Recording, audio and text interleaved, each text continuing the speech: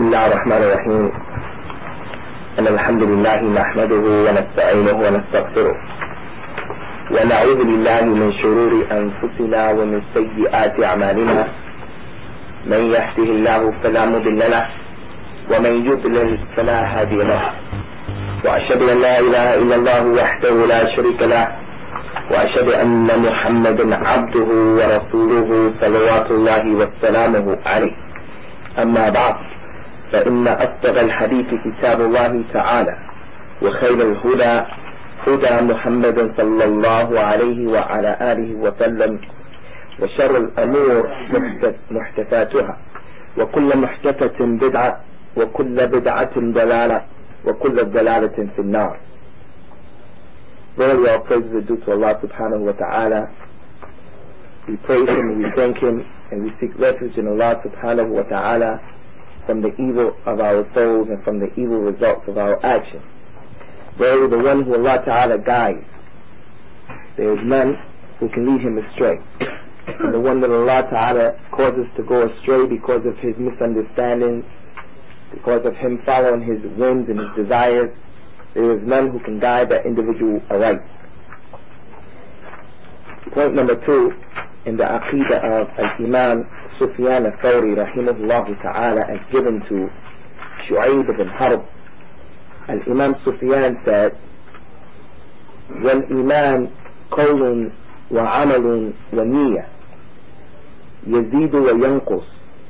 يزيد بالطاعة وينقص بالمعصية. ولا يجوز القول إلا بالعمل. ولا يجوز القول والعمل إلا بالنية.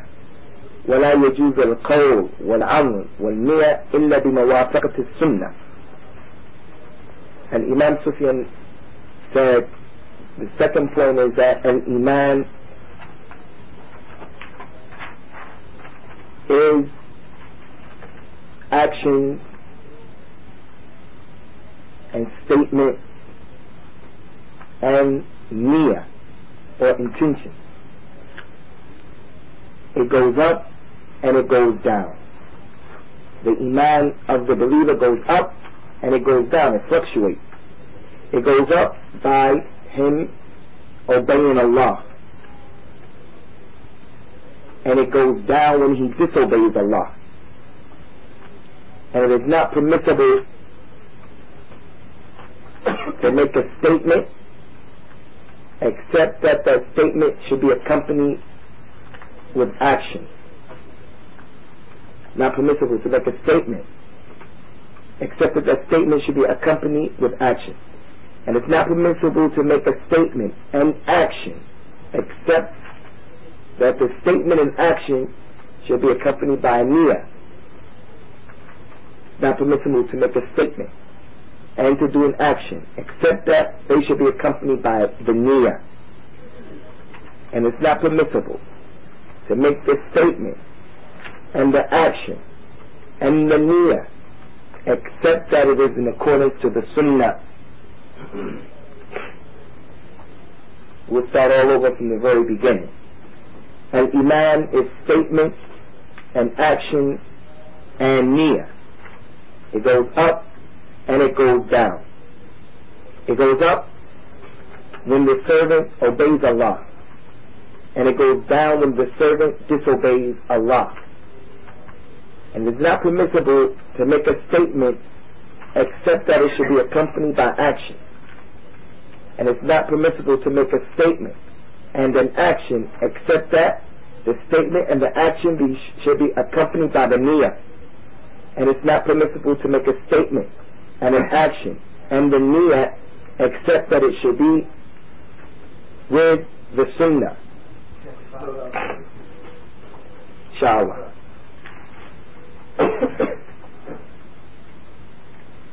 and then after saying that, now, now, inshallah, from the very beginning. An iman is statement and action and niyyah, intention. It goes up and it goes down. The iman goes up and down. It goes up when the servant obeys Allah. and it goes down when the servant disobeys Allah. If the Iman Ikhwan is statements and actions and niyyah, these three things, then he says, it's not permissible to say a statement except that it should be accompanied by action. And it's not permissible to say, make the statement and to do the action, except that they are accompanied by the niyyah. And it's not permissible to do the statement and the action and the niyyah except that those three things should be according to the sunnah. And we can always go back to the tape, inshallah ta'ala, or to the notebook of our brothers who have wrote, written it completely to get what we've missed. After that, Sufyan al-Thawri said, or Shu'aib said to him, فقلت له يا أبا عبد الله وما موافقة السنة After that, after hearing this statement, the point number two, Shu'aib ibn Harb said, Oh Abu Abdullah, Abu Abdullah, what do you mean by the muwafaqat sunnah? What do you mean that it should be according to the sunnah? And then that led him into the third point that we'll do next time, inshaAllah ta'ala. In explaining this issue, Ikhwan, this issue of an iman, what is an iman? and the issue of it going up and down. Again, it's another one of those issues that the deviants went off of the path and they went astray concerning it. Because verily, when you want to read the Quran of Allah Ta'ala, the actual speech of Allah, and whenever you want to read the Sunnah of Al-Mustafa sallallahu alayhi wa ala alihi wa sallam, and whenever you want to read the statements of the companions, it's very clear to the child that an iman goes up and down and that iman is deeds and actions and statements and niyyah. But if you want to be a person who, you want to be a murji'ah, or you want to be a mu'tazila, or you want to be from the asha'ira, then what you have to do is, you have to take the Quran and the Sunnah, and you have to play with it. You have to throw curveballs. Or you leave the Quran and the Sunnah altogether, and you start taking your dalil from the books of al-adab, the books of poets, the books of the men of letters. Because when you look in the Quran, this issue is not an issue that you brothers, inshallah, are not going to find any difficulty in understanding because your minds have not been polluted with deviancy. Concerning this statement, an iman is sayings and actions and niyyah, the explanation of that is simple.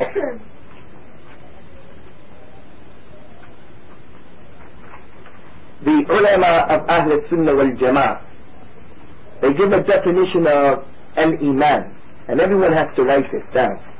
It's very short, and it's more important that you understand it. An iman or faith is al-qawl bil-lisan, to profess with your lips, or profession, professing with the lips. Saying La ilaha illallah, Muhammad Rasulullah. That's one. Put an A or one next to that. And an iman after that is al-amal bil-jawarih, the working with your body parts, whether it's your hands, whether it's your fingers, whether it's your feet, whether it's your legs, whether it is your tongue, it's working with your body parts. And the third aspect in the definition of al-iman, an i'tiqad bil-qalb, and its belief in the heart. The people have different understandings of an iman. Some people say that an iman is belief, period. Some people say that an iman is an ilm, knowledge. Some of these people say that an iman is a ta'a, being obedient to Allah, doing the things that Allah tells you to do. So these three things that we just said is what al-Iman is to Ahl Sunnah wal Jama'ah. And it will help you to understand the statement of Sufyan al-Thawri. First of all, the Prophet sallallahu alayhi wa sallam said in an authentic hadith, Al-Iman bid'un wa sab'un shawba. أدناها إماتة الأذى عن الطريق وأرفعها قول لا إله إلا الله The Prophet said in this hadith, an iman or faith is 70 branches. The highest branch is, or the lowest branch is, taking something harmful out of the street. Wherever you have the Muslims using a street or a walkway, the lowest branch of an iman is for a person to take glass or anything harmful out of the street. That's the lowest branch or level. And the highest level is saying La ilaha illallah. This hadith shows us many things. Number one, it shows us that an iman is saying with your tongue. Saying La ilaha illallah. If a man does not say La ilaha illallah or the equivalent to that, he does not come into Islam. How does he become a Muslim without pronouncing or professing Ashadu an la ilaha illallah? Even if he was to do the deeds, if we he does not make this profession, then his Islam is suspect. So this hadith shows us that the highest form of Iman is the statement La ilaha illallah. So that's indicative of the first part of the definition, that Iman is making this statement. Also in the hadith, when the Prophet ﷺ said that Iman, the lowest part, is taking something harmful out of the street, that cannot be done except that he goes and he bends down and he grabs it with his hand and he throws it and he makes movement. He doesn't do it with telepathy. He doesn't do it by wishing the thing that's harmful in the street is going to be elevated and pushed out of the way He actually does a deed where he goes and he puts something out of the street with his hand. So Iman is working with your body parts. And lastly, the third part, and Iman is an i'tiqad with your heart, believing in your heart. The Prophet sallallahu alayhi wa sallam said, من قال لا إله إلا الله مخلصا من قلبه دخل الجنة Whoever said La ilaha illallah sincerely from his heart, he will enter into paradise. After knowing this, it's strange for us to find the statements of these different groups. The first group that you brothers have to write about is the Murji'ah. Al-Murji'ah. Al-Murji'ah.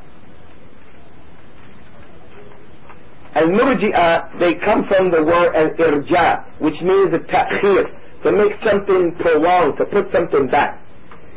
The Murji'ah, they believe again, as we said before, that if a man simply recognizes that Allah subhanahu wa Ta'ala is one and Allah is the Lord and he has no partners, then this man is a mu'min, he's a total believer, his faith is like the faith of Jibril, his faith is like the faith of Abu Bakr, his faith, whoever believes in that, then your faith is complete. And you don't have to do anything to prove your Islam. If you didn't pray, if you made zina, if you smoked crack, if you drank whiskey, if you lost other people's money, whatever you did, you are still considered to be a believer because you recognize the fact that Allah Ta'ala is one. We also have a group called Al-Karramiyah to spell it however you want to spell it. Al-Karramiyah. Al-Karramiyah. K-A-R-R-A-Y.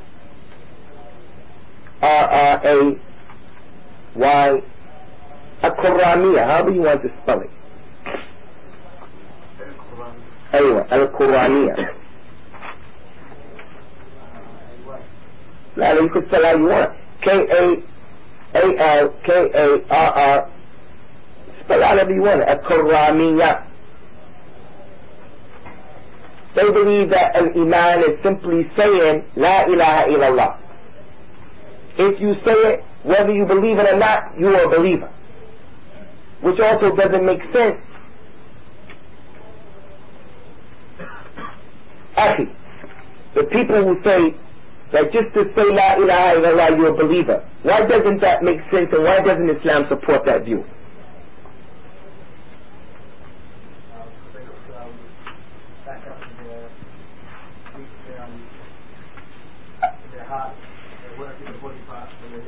But I'm saying from the Quran and the Sunnah, or from the reality of what we live in this dunya, why does not that definition stand up when we put the acid test to it? Does anybody know?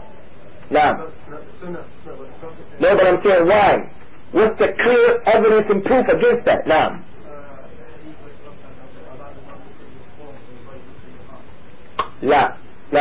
Uh, be agreed with that.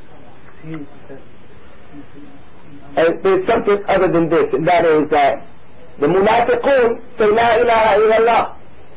That's all they say. They say La ilaha illallah, but they're not Muslims, they're not believers, they don't have Iman. But these people were extreme deviants, the Karramiya, who said if you say La ilaha illallah, khalas, no one can do anything from you, your blood is safe, your money is safe, you're like a mu'min and you don't have to worry about anything. Another group is the group Al-Mu'tazila. Everyone knows about the Mu'tazila.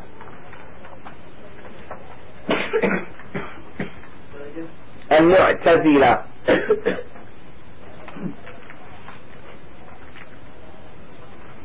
And lastly the Khawarij. The Khawarij. The Khawarij. Al Khawarij. These last two groups Ikhwan feel that an Iman is doing those things that Allah ordered you to do. Someone may say to me, so what's so important about this? Why did the ulama of the past make a big deal about it? What happens, Ikhwan, is based upon what these people understand, there are ramifications that come as a result of that. For an example, as we said before, the murji'ah, if a person was a murji'i, he will find pleasure in drinking wine and getting high and he wouldn't have any problem with doing this evil deed and then getting up in the morning to make salat al-fajr. and you will not be in a position to come to him and to say to him, this is haram, because he says, Iman is one thing, my faith is one thing, and my actions are another thing. As far as the Khawarij are concerned, they say, if the believer does not do what Allah has ordered him to do, then he's not a believer and he goes out of Islam and he's a kafir. So then what they'll do is they'll proceed to pronounce takfir on the people based upon their understanding of al-iman. If you didn't do what Allah Ta'ala ordered you to do, like make salat, like give zakat, make that halal was halal and haram was haram, if you didn't do that, they'll say, since you have no deeds, you have no iman, iman you're kafir and the Khawarij, another deviant, they said that the person who didn't do the deed, he wasn't a kafir, nor was he a Muslim, but he was suspended in the middle somewhere. And all of this, as you can see, it doesn't make sense. It doesn't come along with the easiness of Al-Islam. One of the things of the characteristics of Al-Islam is that when you read the Quran and the Sunnah, and you really concentrate on the issues of the Quran and the Sunnah, you don't find that they're difficult to understand. You don't find that they make your face do like this and they make your heart say, what's going on here? What's the problem? What are they talking about? The message of the Quran and the Sunnah is very, very simple and very, very easy. Now the people say, this is a problem of a long time ago, and people are talking about this. What are we studying it for? The brother brought this book about Abu Hanifa, and we told you, brothers, that Abu Hanifa was from which school of thought in the issue of Iman? Al-Murji'ah. He felt that Iman was something and the deed was something else. You didn't have to do anything. So this man wants to defend Abu Hanifa. So he says, and listen to this carefully. He says, to begin with, the Imam does not regard duties and actions as part of faith. it is superfluous today to discuss this point. For even a man of common intelligence today knows that faith means belief, which is a state of mind, while duties and actions are over exercises of the human organs, the two categories being just disparate and incapable of combining or forming part of each other. So the man is saying that the common guy today, the regular Muslim who's not a scholar, today he knows that an iman is a state of mind. It's what you believe in your heart. Whereas the actions are what your body parts are doing. So the iman is one thing and your actions are another thing. So when a person picks up this book, and he's a brand new Muslim, and this is a lot of the type of material that is available to brand new Muslims, had it not been, alhamdulillah, for what Al-Hidayah is doing and, you know, this new trend of making sure that things are the Quran and the Sunnah, this is what we had available when we came into Islam. We had Yusuf Ali, books like this, the Tablighi Jamaat books, and the man reads the book, and he doesn't know this is right or this is wrong. So he picks up this book and he believes, or he is reading, that this is actually putting forth the understanding of the people of the past. So I'm going to read this book. I just wanted to read that point, but it's more than that. And I would advise you, brothers, not to read this book, this book in particular, because the man is a astray, and he's calling to that which is a astray. As for the good things in the book, alhamdulillah, but for the most part, the aqeedah of this man is off. And he's a Hanafi muta'assib. The ones who we always saying, be careful and stay away from that type of situation. So now, Ikhwan, and Imam Sufyan al-Thawri, he told them what an Iman was. So we look at the statement that we just put forth, an Iman is qawl, where the person says, La ilaha illallah. It's a statement. And it's action, like taking the thing out of the tariq, like making salah, like giving zakat. And Iman is having a niyyah, the good intention. The Prophet ﷺ told us, you gotta get that book to that man The Prophet sallallahu alayhi wa sallam told us, إِنَّمَا الْأَعْمَالُ بِالنِّيَّةِ Verily, the deeds will be judged by the intention. This Iman goes up and it goes down. It goes up when the servant obeys Allah ta'ala. And it goes down when he starts to disobey Allah ta'ala. Now all of you in your Islam up until this point, many of you brothers who reverted back to Islam, if you've been in Islam for two, three, four years now, I'm sure you can recall the time when you first came into Islam, you found that you were very, very high. If you had a job and you lost your job, you weren't worried about where the money was coming from because your iman in Allah, you knew Allah was going to take care of you. When you came into Islam, you felt all the Muslims were like angels and they were doing the right things and you can marry from them and they'll marry you and like this. And then after being in Islam for a while, you start to see that in terms of what we know, things are less than what we know. So we start to feel like our our Islam as individuals. Our Islam is not like the Islam from when we first came into Islam. Because Allah Ta'ala blesses the abd. When an individual comes into Islam, Allah makes it easy for him. Because he has no knowledge, he doesn't know. So Allah Ta'ala makes this situation a situation of bliss, even though he's jahil, he's ignorant. Because if he came into Islam and things were very, very difficult, he'll leave Islam. Anybody coming to Islam in Ramadan? I thought you were born Muslim and you remained a Muslim and so forth and so on. Uh, only been, been a few months. Few months. When a person comes into Al-Islam in Ramadan, he comes into Islam and then the people say to him, you have to fast. If he comes into Islam in Ramadan, you'll find that this may be a fitna for him to stop eating from the time that the Muslims eat. But in spite of that, when he comes into Islam in Ramadan, he will still find that that first Ramadan, more times than not, was easier for him than the Ramadans that came after it because Allah Ta'ala, out of His hikmah, makes it easy for the man.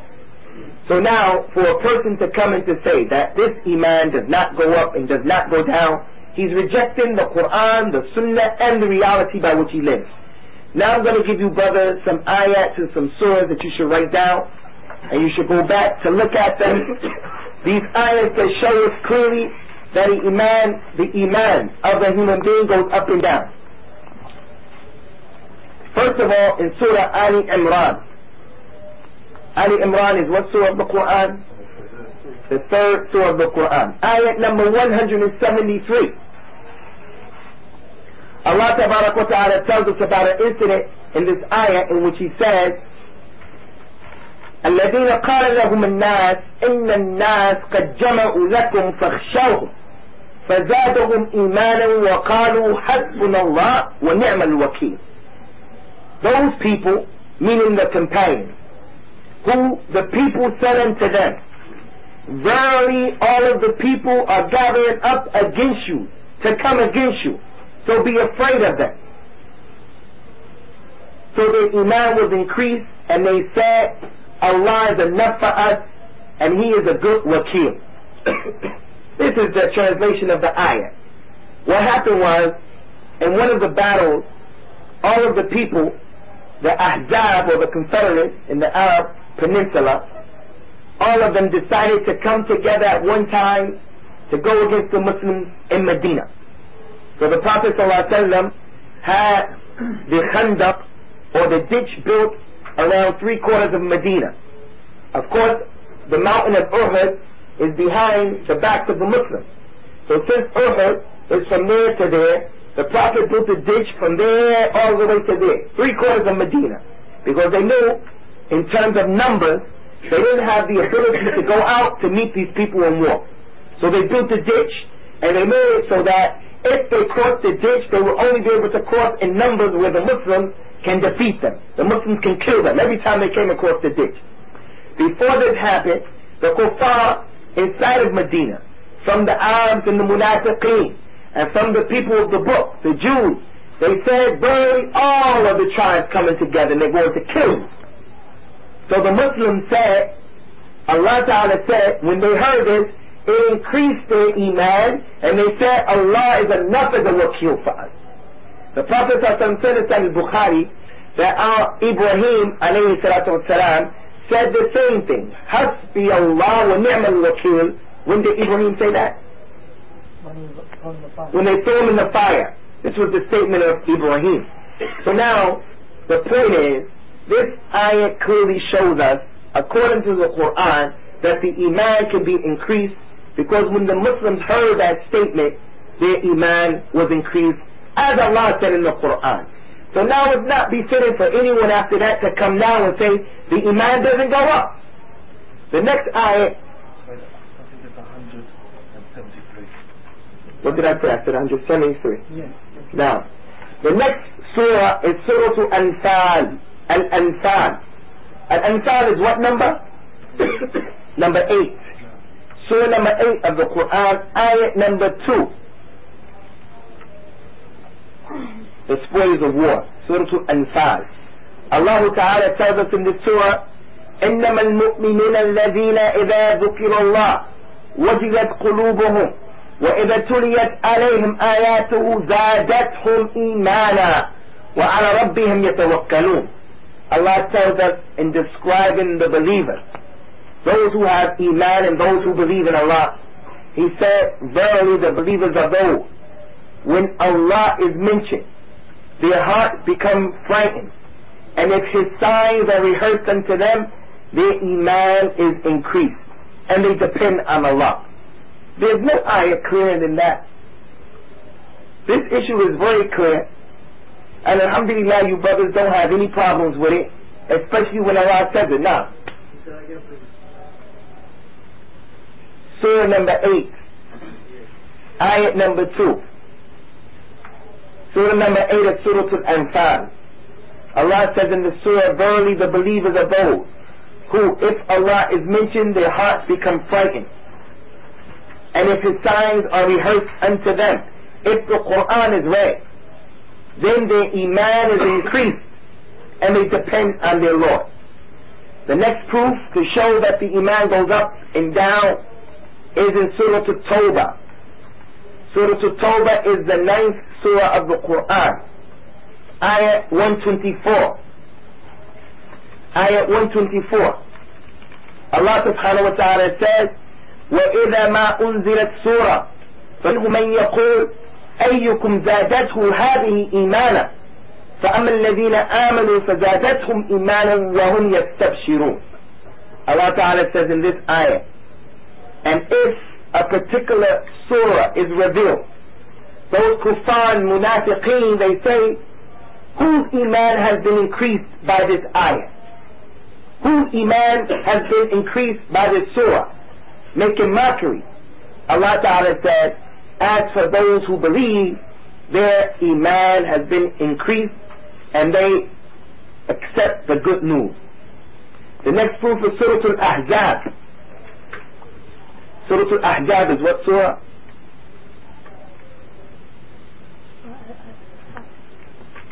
Now, Surah 33. Ayat number 22.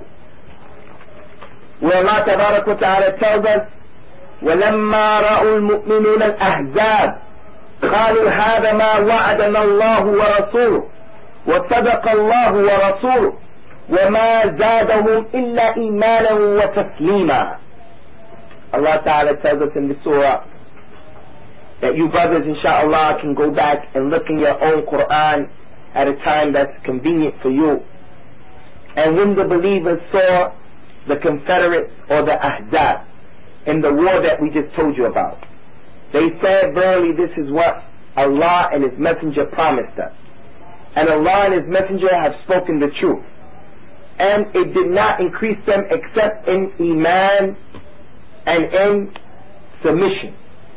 So these are four of the many ayats from the Quran that tell us about the iman of the person being able to increase and being able to decrease. Now, Ikhwan, we want to ask this question and we want you brothers to write and to answer. In terms of the iman going up and down, many of us, for the most part, are in a situation where more times than not, our iman is going down. More times than not, we feel low. We don't feel that we're in the mood or position that anything that happens to us today, we're in a position to deal with it because our iman is high. So the question to you now is, what are those things that we can do to make our iman increase according to the Quran and the Sunnah? What are the things that we can do to make our iman increase according to the Quran and the Sunnah? Nasr al-Din. The zikr of Allah subhanahu wa ta'ala. Do you have a proof for that, Nasr al-Din? No, it's okay. I can, you don't have to say it in English. I mean, you can even tell me something that we all will agree to. Reading the Quran. You might as well read the Quran. Now, that's number one. Write this down. Ways to increase the iman.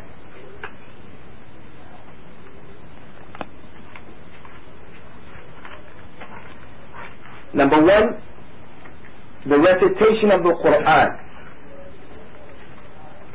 But the thing concerning the recitation of the Quran, Ikhwan, is that we don't want to read the Quran just for the sake of reading the Quran. But we want to read the Quran with contemplation. We want to read the Quran with understanding. Right now, all of us read the Quran, alhamdulillah, to some extent, some more than others. But how many of us read the Quran with contemplation? Allah Tabarak wa Ta'ala in the Quran encourages us to read the Quran with contemplation in so many ayats of the Quran.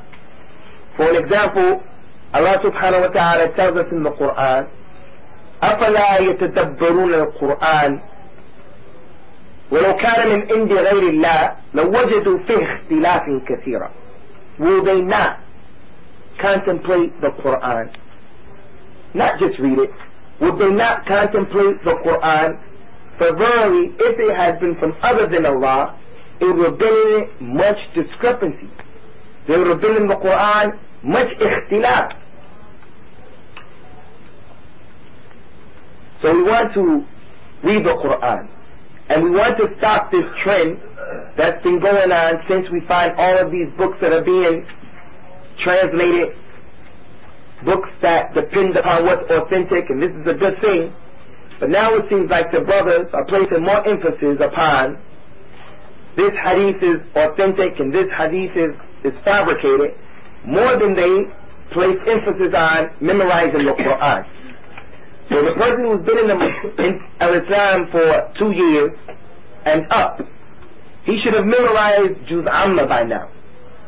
If he's been in Islam for two years and up, he should have memorized Juz Amma by now. Because even though you're a new Muslim, and even though you may not know Arabic, this is taken into consideration, you are like the child who also doesn't understand a lot, but he still has the capacity to be sent to the masjid or to a sheikh or a hafiz of the Quran. He has the capacity to sit and hear and to memorize without even reading, without the ability to read. Your child who's four or five, you should start memorizing at that age. When he goes to the masjid or the sheikh, he cannot pick up the Quran and read it like this.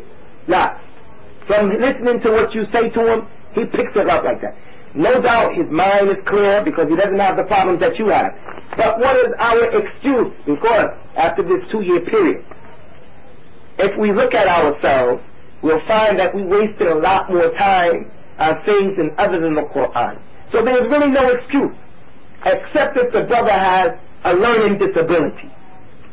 And inshallah, that's not the case. So if you've been in Islam for two years, and you've been trying to practice Islam, by now you should have memorized Juz Amma. So what happens, Ikhwani, in the lesson that we're doing now, the lesson could be appreciated more if people knew something of the Quran. But because we, the brothers, are generally people who don't memorize, we don't memorize. It's not a part of our minhaj. It's not a part of our Islam. We don't memorize. There's not a desire that a brother has to say, by the end of this month, I want to memorize Surah Al-Qaf that the Prophet ﷺ always read on Friday. I want to memorize Surah Al-Sajda. I want to memorize Surah Al-Nuh so I can have this adillah to know how to give dawah. I want to memorize this or that. We don't have it. If you were to ask Ikhwan, in any particular setting, a group of so-called Salafi people Ikhwan, give me five hadith from the Messenger of Allah in Arabic. Five hadith. Sometimes a hadith consists of no less than, no more than five or six words. No more than five or six words. You can be in the masjid of 40, 50 people, wallahi, they can't bring you five hadith. They can't bring you five hadith. Which shows you, Ikhwan, again, that we need to be careful about walking around on this earth with our chests put out like this looking at everybody like, I'm holier than you are. Because wallahi, we fall short of the mark. We're not really on the threshold of being students of knowledge. So the issue is serious. So I advise you, brothers, everyone, to get you a small Quran, those of you who can read Arabic, to get you a small Quran and start to try to live with Allah's book. Start trying to memorize the Quran the Quran that Allah Ta'ala said, He made it easy to be memorized. When Allah sees His servant opening up the Quran and he's finding difficulty in doing it, Allah Ta'ala blesses you twofold and He makes it easier for you. The Prophet Sallallahu Alaihi Wasallam told us in the authentic hadith,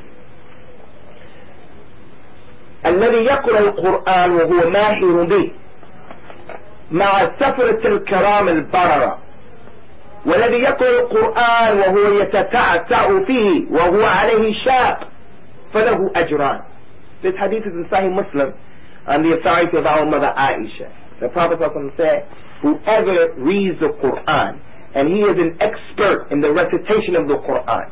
You know these tapes that you hear?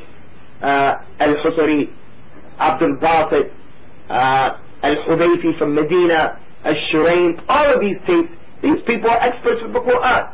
Whoever reads it, like, reads it like that, he will be raised Yom Qiyamah in the company of the angels. And whoever reads the Quran and he finds difficulty reading it, and he stutters while he's reading, he doesn't know Arabic, so he stutters while he's reading and it's difficult, he'll get a double reward. So Shaitan, he rips one of us off by making you think, I don't know Arabic, so I can't memorize the Quran. That's number one concerning the Quran. Number two, Ikhwan, the Quran can't be memorized by that transliteration. So if you're trying to memorize by that transliteration where they spell out Alhamdulillahi Rabbil Alameen, A-L slash H-A-M, you're not going to pronounce the letters right. So you have to, if this is your situation, sit with someone so that he can correct what you're saying because you're going to make a lot of mistakes. So now I reiterate, if you've been in Islam for two years, then your understanding of the Dawah to Salafiyah in this aspect falls short of the mark. And you should be embarrassed that you haven't memorized Juz Amma. The Juz Amma, the last 30th part of the Quran, where little children, little children in the Muslim countries memorize and they walk around with it in their heads and in their hearts and they don't understand what it's saying. But verily, whoever can memorize it will have a lot of delil from it. Number two, what is another thing that can cause our iman to increase? Ahmed. Um, read um, hadith Muslim just like one time, one time. Number two, reading about the sunnah and the seerah of the Messenger of Allah sallallahu alayhi wa ala alihi wa sallam. Reading about the sunnah and the seerah or the history of the Prophet sallallahu alayhi wa sallam. Khalid, give me some of that. Shukran. That's Sunnah and Seerah.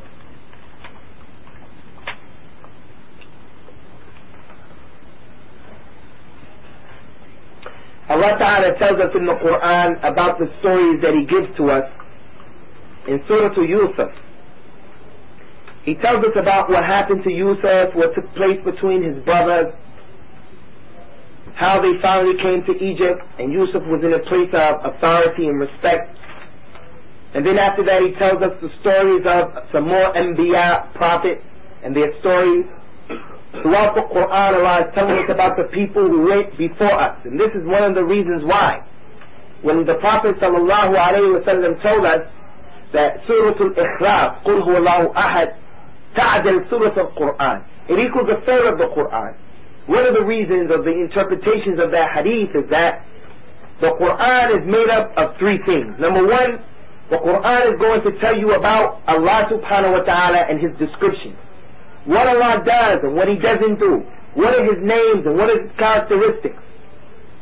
Allah is powerful, Allah is all knowledgeable, Allah is over His throne, Allah subhanahu wa ta'ala is, is all seeing, all hearing.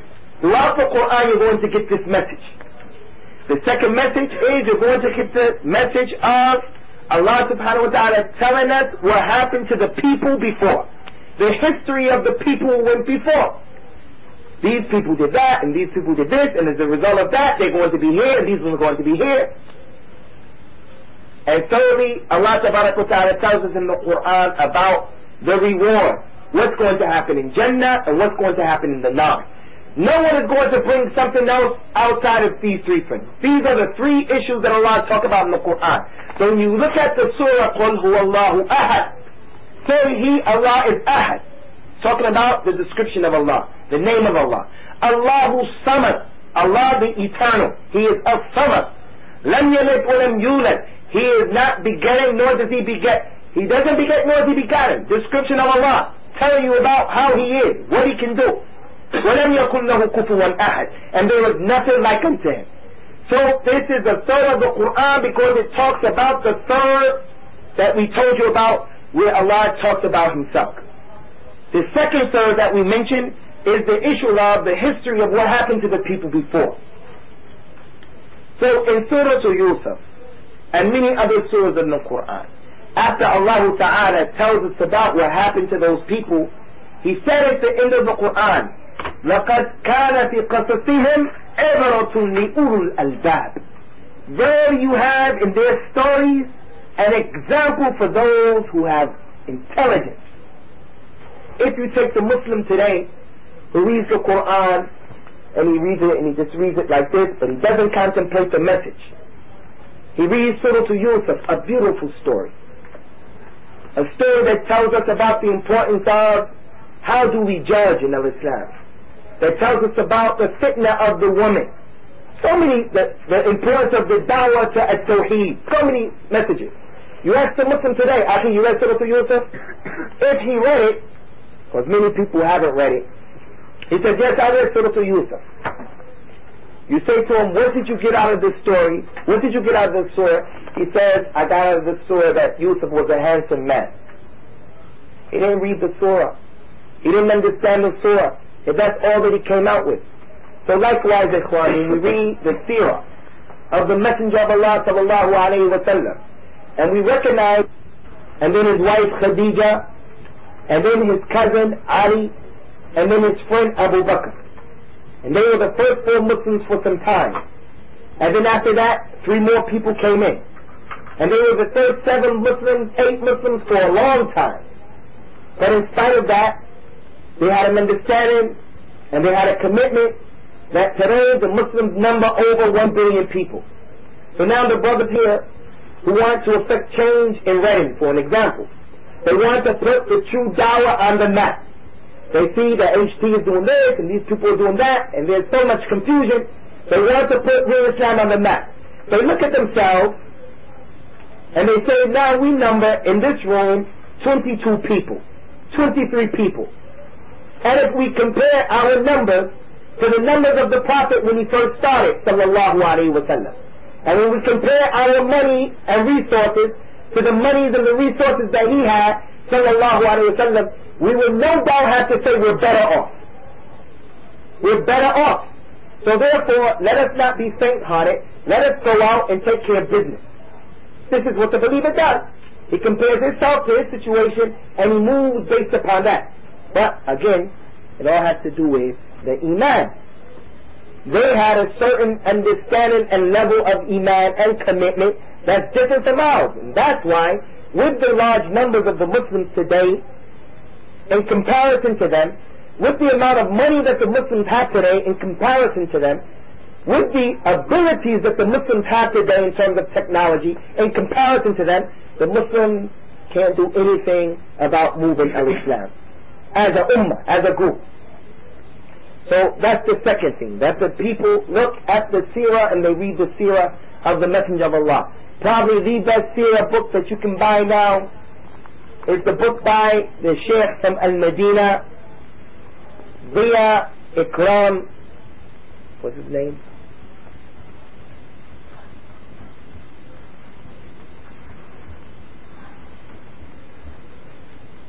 Does anyone know the name of that man who wrote the book about the history of Medina? And then there's another one he wrote, the Sahih history. Yeah, yeah. What's his name? Dia, Dia Akram. That's him. Dia Akram.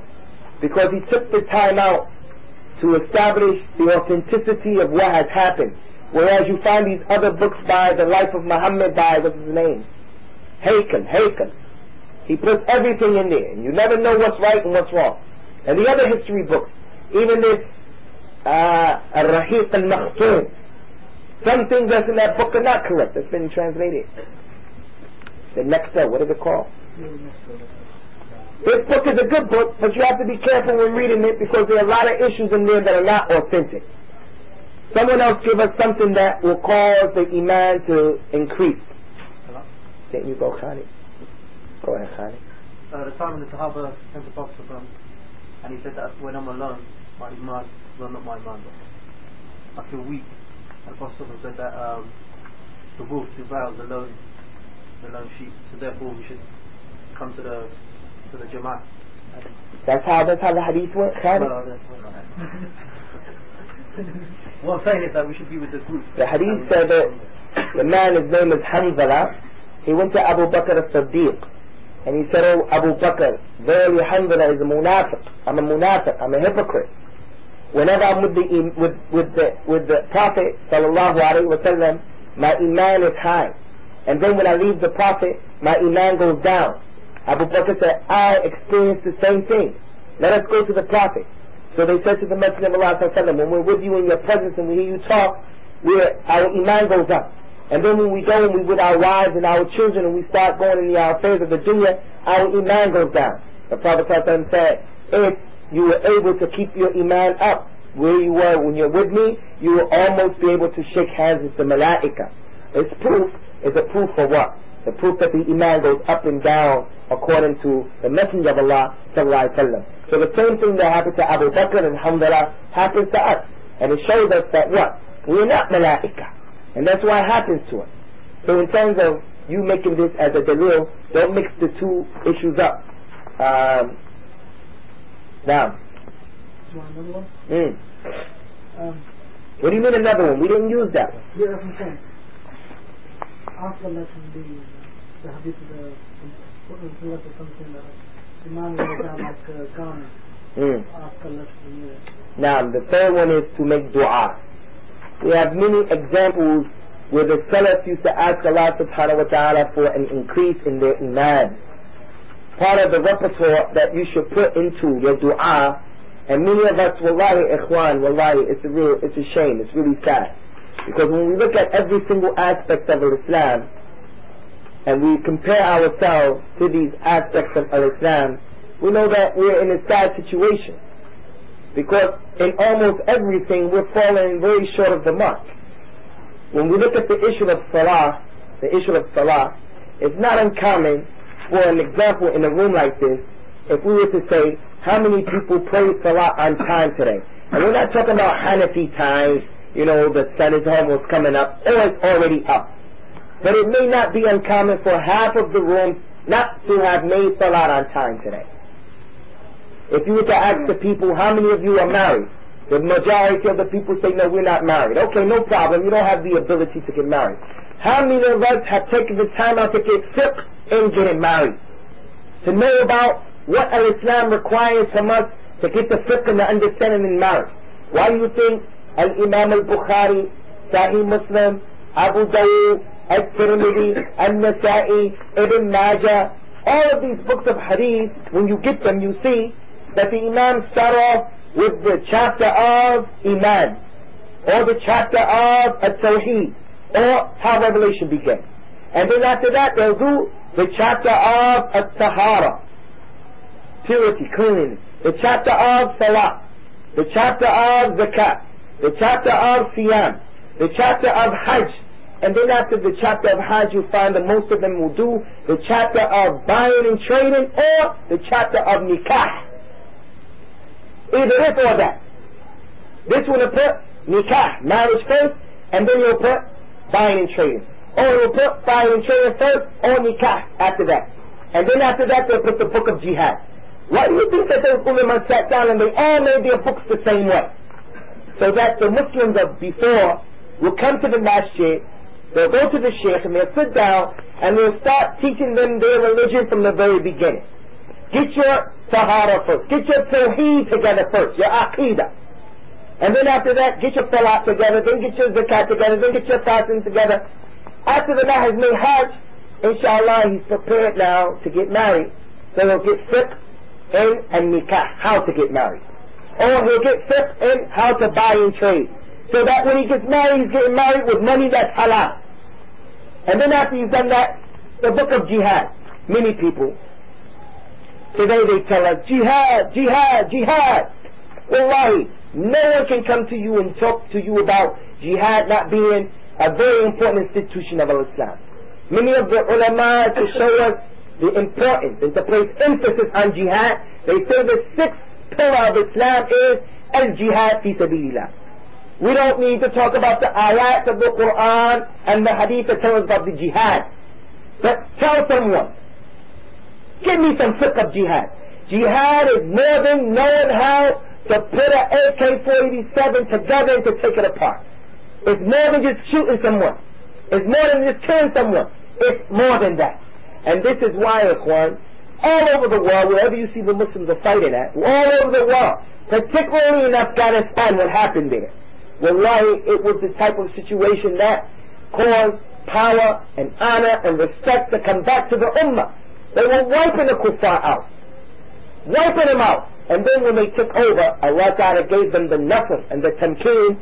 What did the Muslims do? They started killing one another. This guy, he's with the Shiite so that he can kill his Muslims. And this guy's with the Sufi so that he can kill these guys. This guy is with the communists so he can kill this guy. So everyone is looking for the chair. Everyone is looking for their Jamaat to be the ruler because the Muslims don't have jihad. So since I've been traveling around in England, I've been to Birmingham, I've been to London, and these different places, these pockets where you find that the brothers who go to make jihad, wallahi we ask Allah Ta'ala to bless them. If their niyyah is sincere, regardless of whether a scholar so-and-so sees Bukni as jihad or not, it's irrelevant. If your niyyah is correct, and you're going according to the Quran and the Sunnah, inshallah you'll get blessed.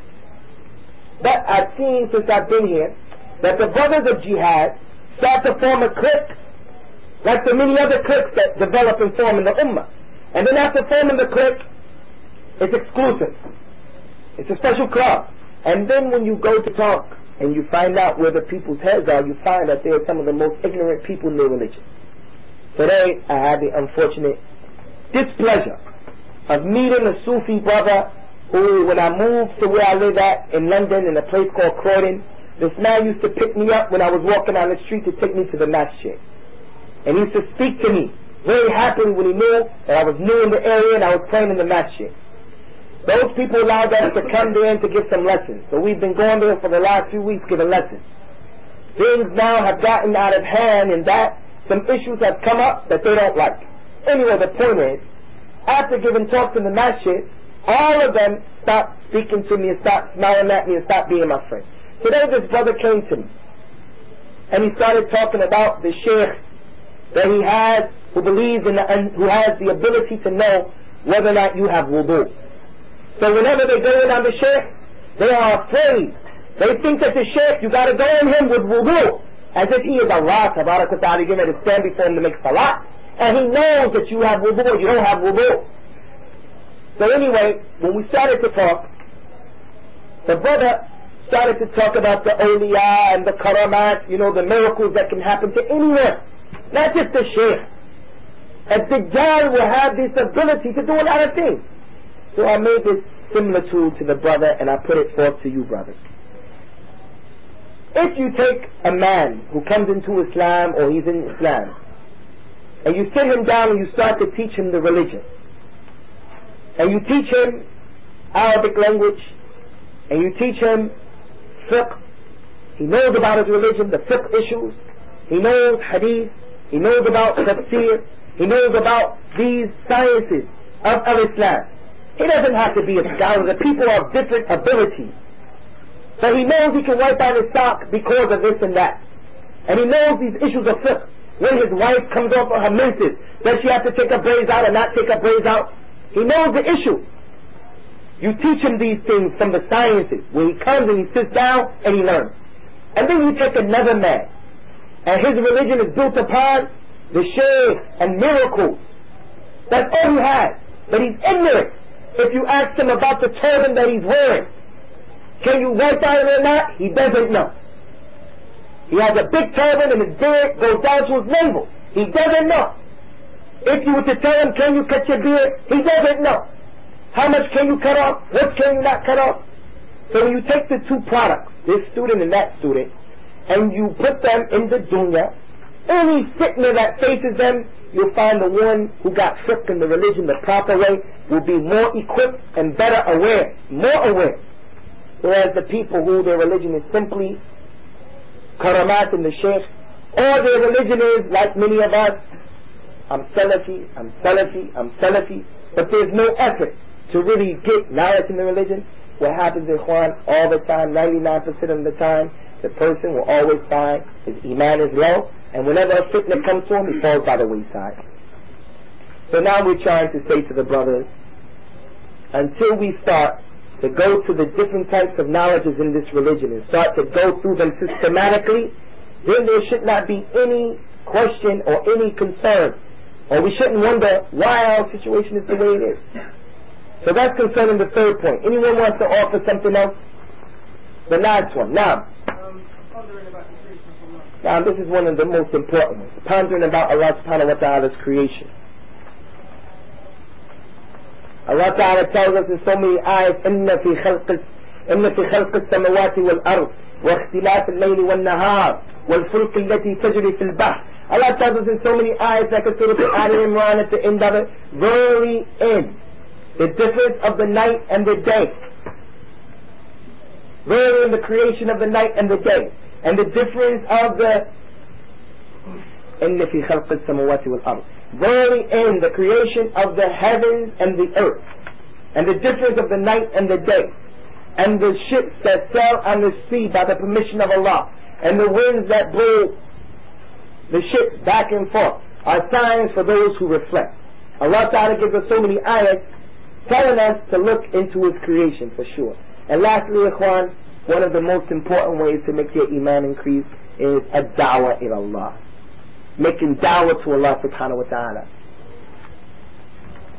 So those of you who are affected by weak Iman or Iman that is low, when you start depending on the same people to come to teach you, the same people to take responsibility to teach you, when you start taking it into your own hands to go and to give dawah based upon what you know. Of course, the person does not go outside of what he knows. What's wrong with you listening to what someone said somewhere where he gave you an understanding in one ayat of the Quran? What's wrong with you teaching that to another Muslim?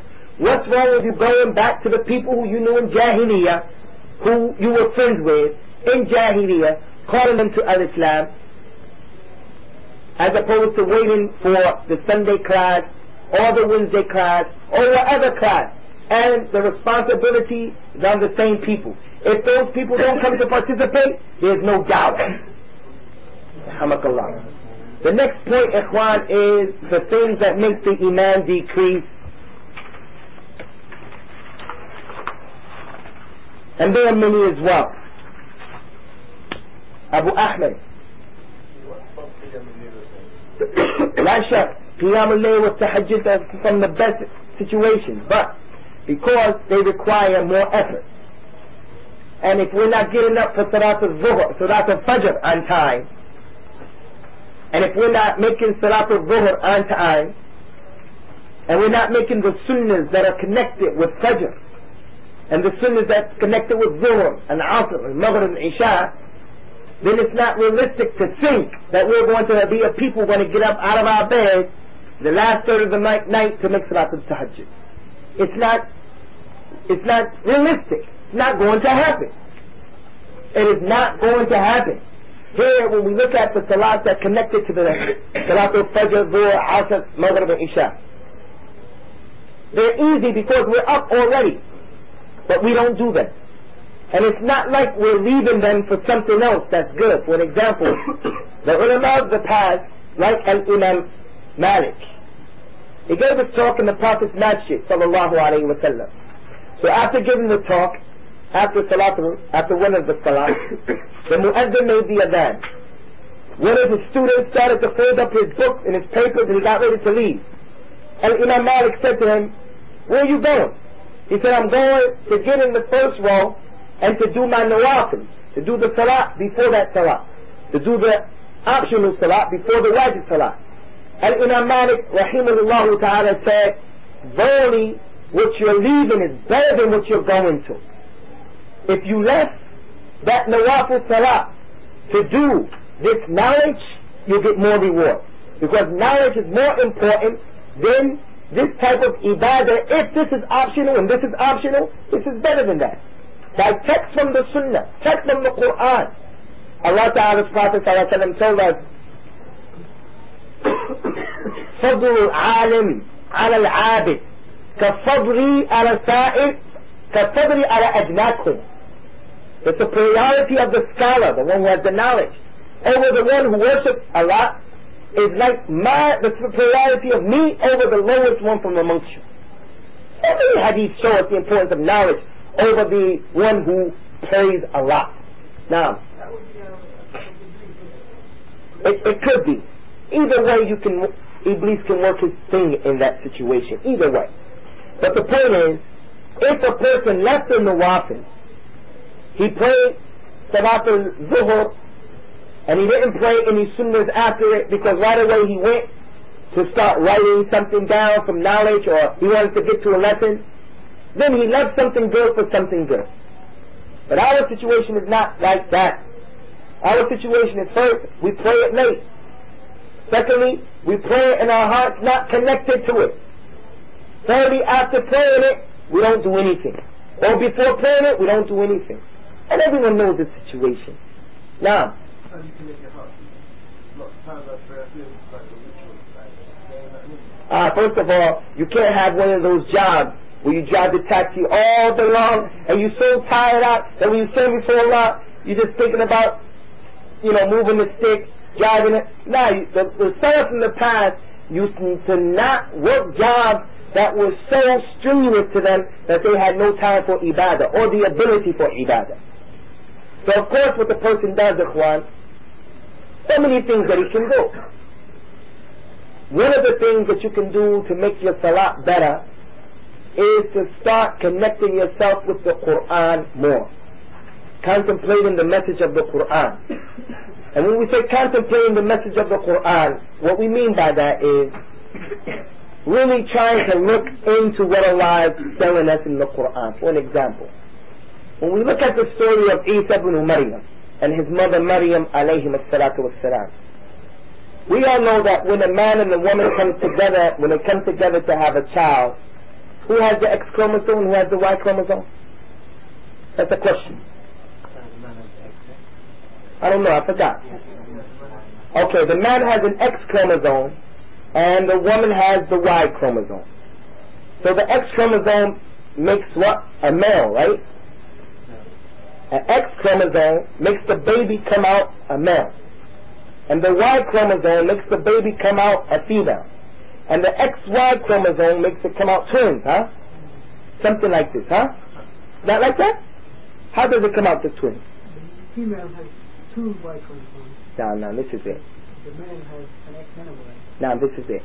This is it. Now, the female has two Y chromosomes, and the male has an X and a Y chromosome.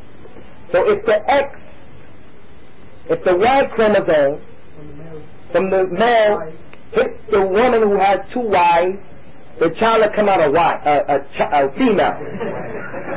And if the male, if the male comes out, if the X connects, right? X and a Y. the X and the Y, it'll come out a male. So, we find Isa ibn Maryam, his mother having two Y chromosomes, right? Two Y chromosomes, and then there's no X or Y on the other side. So since she has two Ys, the child should come out a female, according to this science. If she has two Ys, because there's nothing else, if she's gonna have a baby, it should come out two Ys. But when Allah Ta'ala says kun, fayakun, khalas, that's it. So the child comes out a male without the father and without the Y. So when you look at what the ulama wrote in the past, especially people like Ibn al-Qayyim, the Sufis, they like to take Ibn al-Qayyim and say Ibn al-Qayyim was for us because he had the ability to look at an issue and to pull out for you all the treasures of the issue. But it's nothing that we can consider, it to be esoteric knowledge. La. It comes from contemplation. And it comes from people continuously rehearsing. So when you first read the Quran through, when you read it first time, you get a message. When you read it a second time, you get another message. A third time, another message. The fourth time, another, and so on. As many times as you read the Quran, there's as many messages you're going to get. If you only read the Quran once, and then you said, okay, khalas, I'm not reading it again anymore, then how are you going to be connected with Allah? And worse than that is the Muslim who's been in Islam for two years or more, and he hasn't read the Quran. If you were to tell him, Surah Al-Taha, tell me some aspect of what Allah talks about in it. Mention one prophet and tell me something that happened in Surah Al-Taha. He doesn't know. But he believes it's the Quran, it's the book of Allah, and so forth, but he doesn't know.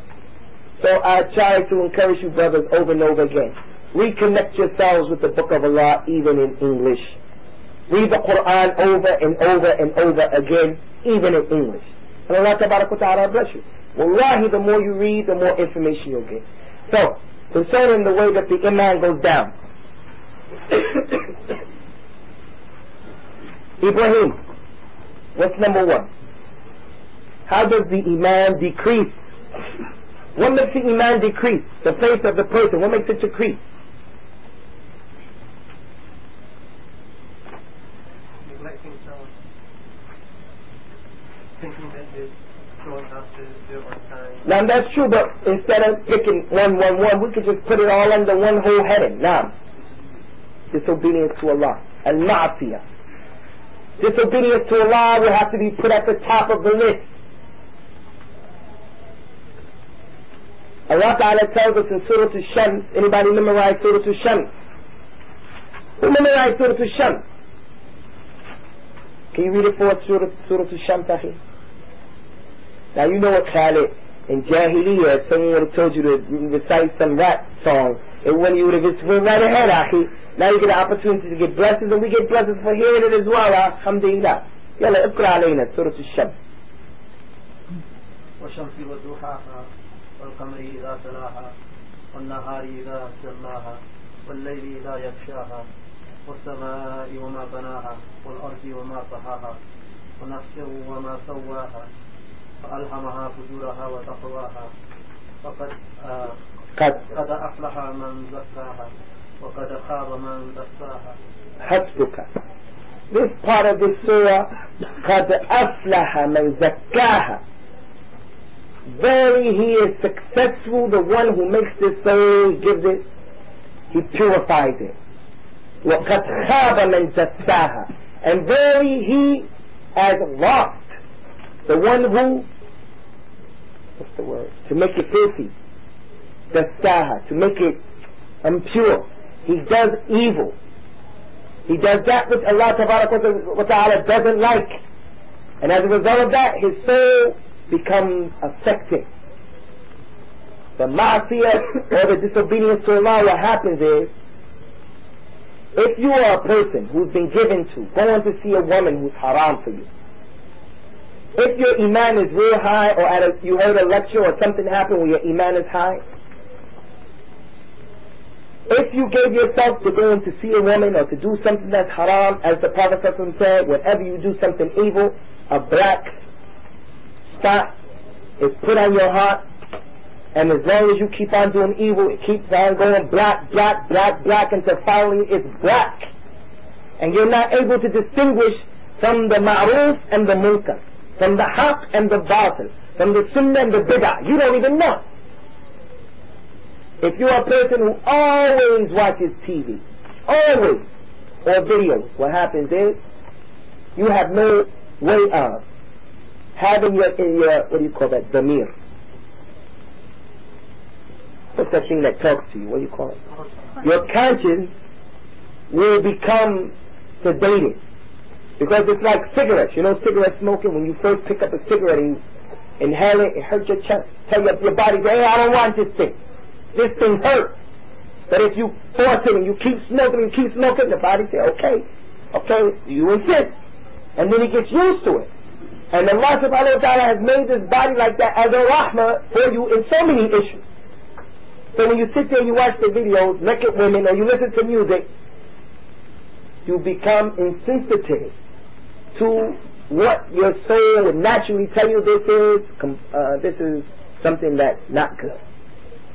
So, the person who tries to stay away from this sin, and he's in that perpetual jihad of trying to be pious, he'll find his iman is up. But the person who gives himself to everything will find that he will never be able to feel that his head can look over the water.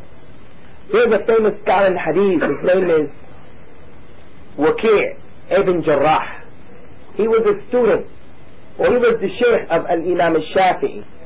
Al-Imam al-Shafi'i asked him, he said, Verily, I've been given the ability to memorize, but I always forget. Can you give me some nasiha? He said, if you want to memorize, then leave off doing evil. Allah Ta'ala tells us in so many ayahs of the Quran that the one who has taqwa of Allah, not only will Allah be pleased with you and enter you to Jannah, but He will also increase you in your sustenance. There's so many ayahs of Allah in the, of the Quran like that. So the first thing is the fact that ma'asiyah, doing evil, will bring your iman down. Number two,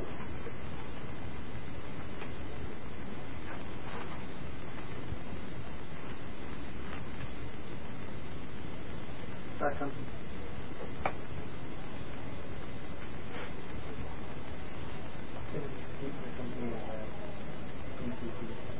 No doubt. The Prophet ﷺ said, showed us that bad company will affect a man's iman. Iman. The Prophet ﷺ said, المرء على دين خليله فلينظر أحدكم لمن يخالل Verily the man is on the religion of his friend. So let every one of you be careful and look at who he takes as a companion. Number three, Ahmed. Um,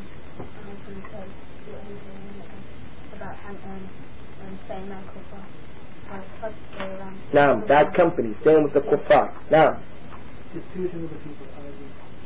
now, now, disputing with the people.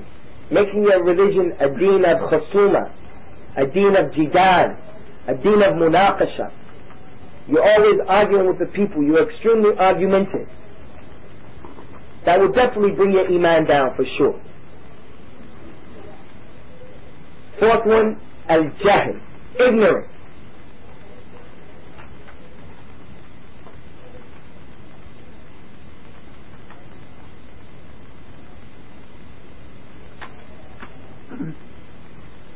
And with that, inshallah, we'll bring it to a close. If you brothers have any questions, inshallah, you can take this time to ask what you want to ask.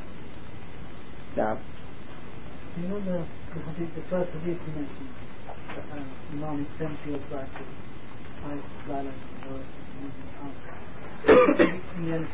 Haya is part of. You know, from one of all as Haya from the, heart?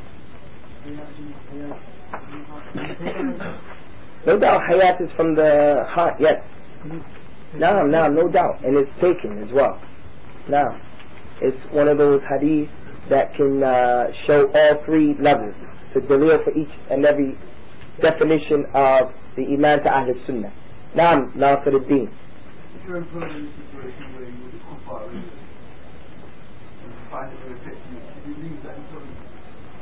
Of course, there are so many variables that come into play and that, you know, they have to be considered. And in these types of questions, it's difficult to get a straight, to give a straight answer just like that. The person needs to look at what the lesser of the two evils will be for his particular situation. If he's in an environment where it's not conducive for his Islam and his Iman, and he finds that if he leaves that envi- environment, it's going to be a bigger fitna that comes as a result. I.e., he works with kuffar. To leave that place at this particular time would mean that he's not going to be able to support himself. He will have to make that type of decision.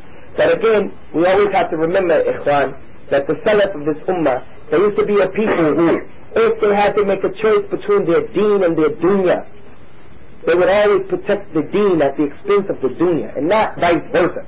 They would not protect their dunya at the expense of the, at the, at the expense of their deen. So what happens is, now, when it is said to a man, if you want to work here, then you have to cut your beard. The Salaf would have said, you can take your job and put it where you know where it belongs. He would never work with that person. You can't go to Salat al-Jum'ah. You can't dress like a Muslim. You can't pray at the job. He would never take the job. As opposed to us, we right away are ready to compromise. And we go to the ayat, hating in your heart. Allah is Ghafur Rahim. Allah is Tawwab Rahim. And so forth and so on. So, the person always has to remember that when it comes to your deen and your dunya, sacrifice and slaughter your dunya at the expense of your deen. Do not give the people, do not give your people your deen. Don't give your deen up. Because again, ikhwan, this dunya is fleeting, it's temporal, it's not going to be a long time. And there's a hadith that the Messenger of Allah sallallahu alayhi wa ala alihi wa sallam told us on the authority of Abu Hurairah radiallahu ta'ala anhu. The Prophet sallallahu alayhi wa sallam said, يؤتى يوم يوم القيامة بأنعم أهل الدنيا لأهل النار فيسبغ في النار صبغة ويقال له يا فلان هل رأيت نعيما قط؟ هل مر بك خير قط؟ فيقول لا والله. ما رأيت نعيما قط وما مر بي خير قط. ثم يؤتى بأشد الناس بؤسا في الدنيا من أهل الجنة. فيصبغ في الجنة صبغة ويقال له يا فلان هل رأيت شدة قط؟ هل مرت عليك صعوبة قط؟ فيقول لا والله. ما رأيت شدة قط وما مر علي بعث قط Allah Tabarak wa Ta'ala Prophet said, Yawm al-Qiyamah, the man that Allah Tabarak wa Ta'ala blessed in this life with the most money. He gave him more money than anyone else. There's no one else who had more money than him in the dunya, period. Out of all the human beings, he had more money of the people who are going to be in the hellfire. Of course, there's going to be another man who had the most money of the people going to be in paradise. The Prophet said, the one who Allah gave him the most money in the dunya from the people of the hellfire, Yawm al-Qiyamah he will be brought, he will be immersed or dipped into the hellfire. Before he has to go and stay forever, he'll be dipped in and taken out. And then Allah will say to him, hey, so-and-so, have you ever seen good in your life? Have you ever seen na'im? Ish na'im? Pleasure. Have you ever seen any pleasure? You say, no, I swear by Allah, I've never seen any good in my life and I've never experienced any pleasure. And then the worst person who had the biggest problems in the dunya. He had the most difficult time of all the people in the dunya. That believer who lost his mother, his father, every time he turned around there was a catastrophe knocking at his door. And none of us are this person, no doubt. None of us are this person. I mean, his life was the most difficult life of all the people. But he was a believer, he's from Ahl Jannah, he's from Jannah. He will be dipped into the Jannah. And then it will be said to him, oh so and so, have you ever seen any difficulty in your life? Have you ever seen any hardship in your life? He will say, I swear by Allah, I've never seen nothing like that in my life. Because now the answer of both of those people is going to be relative to Jannah and Nar. So when he compares his problems in this life, his wife was disobedient, his wife was disrespectful, the problem sometimes used to think, should I kill her or not? I'm going to kill her. He actually thinks like that. How can I kill her without getting caught? I mean, he had some serious problems. Over there, when he compares that with this, he sees, he says his is going to be, I've never seen this, I've never seen that. So with that being the case, the Muslim knows that whenever someone is going to put an ultimatum to him, where is your deen or your dunya, the Muslim protects his dunya at all costs, even if it's his life. He puts his life on the line. Now, um,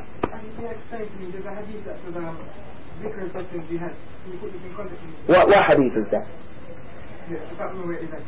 Now, yeah, like we told the brother last night, and we told the brother today, we have to be careful about these hadith. We call them hadith murakkab. It was in a book of, um, Salim, Salim al-Hilali. Uh, you, you have to really, you have to give me the text so that we can talk about it. اثبت العرش ثم نناقش. We'll talk about it when we've established it. So, um,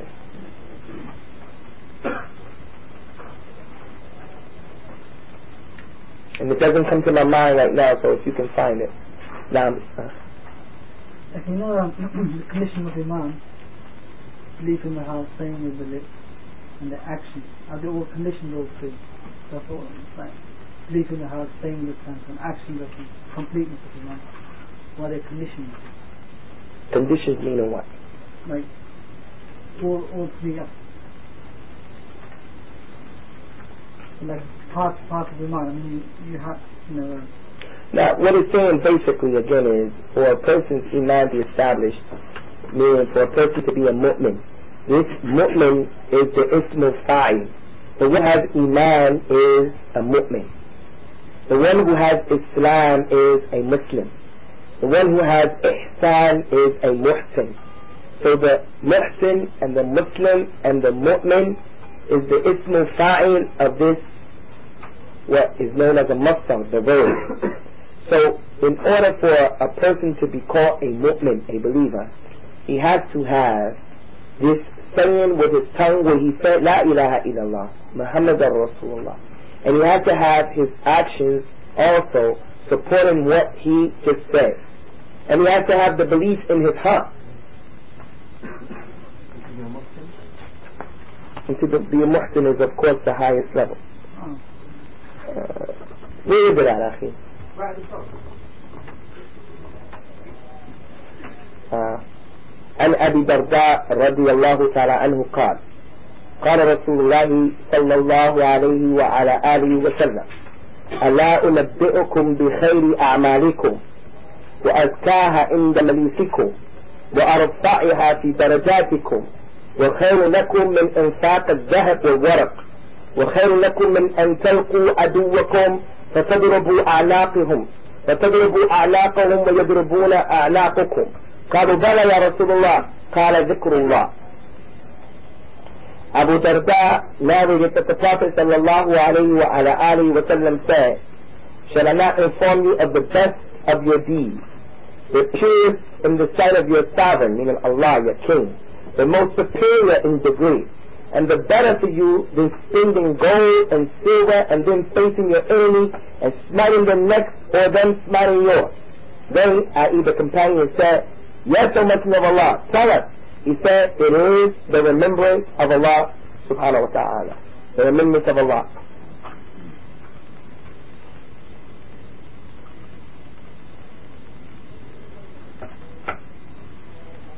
Here's the tape in which we gave talking about the different levels of al-jihad.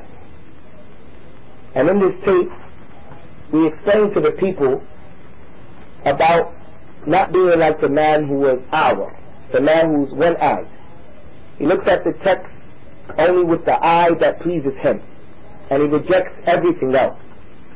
So you find many, many hadith where the Prophet wasallam tells us that jihad is the best deed. For example, the hadith of Mu'adh ibn Jabal. This hadith is in 40 hadith. And the Prophet said in this hadith,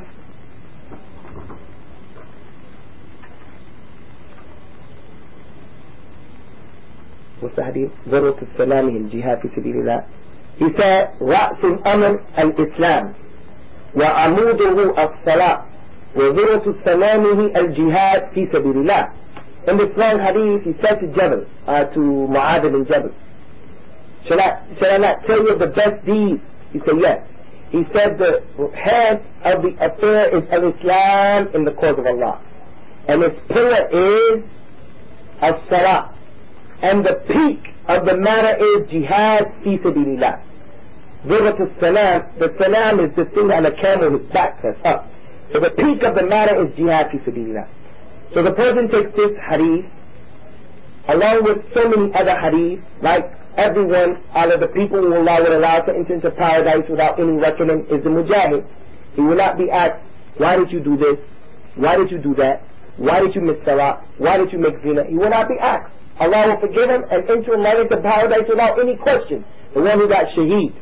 So they take these ayahs, and there are many, many ayahs in hadith. But then we have other hadith like this. We have another hadith where the Prophet ﷺ said, the man came and he asked the Prophet, what was the best deed?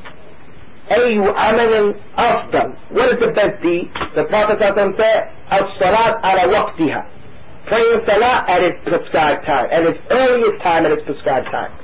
So we have a lot of hadith where the Prophet said, the best thing was this, or the best thing was that, or the best thing was this. Whenever we look at these hadith, we have to say that at that particular instant, the Prophet was talking to a particular person, telling that particular person that the salat was the best thing for him. Or whatever was mentioned as being the best thing was the best thing for him. But in this hadith here, where he clearly states that jihad is less and sadaqah is less, it only gives us one alternative. And that's the alternative to say that the dhikr of Allah is what? The kalimat of tawheed. Those things that are the dhikr that tell us about La ilaha illallah are in some shape, form or fashion, they're connected to La ilaha illallah. Because in the hadith it's clear, when the Prophet said, shall not inform you of the best of your deeds, the purest in the sight of your sovereign, uh, uh, your, your, your king, the most superior in decree, and better than you than spinning gold and silver, zakat, and you facing your enemy, jihad, you killing them and them killing you. And that's, we have to take this, he mentioned, uh, spending, we would say, as-salah, meaning dhikr of Allah, as-salah, as well as the shahada. The first two pillars of the Islam are what's mentioned or meant by the dhikr of Allah here. No doubt, salah is more reward or more important, more weightier than jihad in the scales of al-Islam. No doubt about that. Salat is a pillar. There's no Islam without Salat. If a person leaves Salat, he's disbelieved, a kafir. If a person leaves jihad, he's an evil person and he's making a sin. But he doesn't become a kafir. Islam can exist without jihad. Even though its existence will be what? Zul. What's zul? Lowly. Disrespected. As the Prophet told us in our authentic hadith,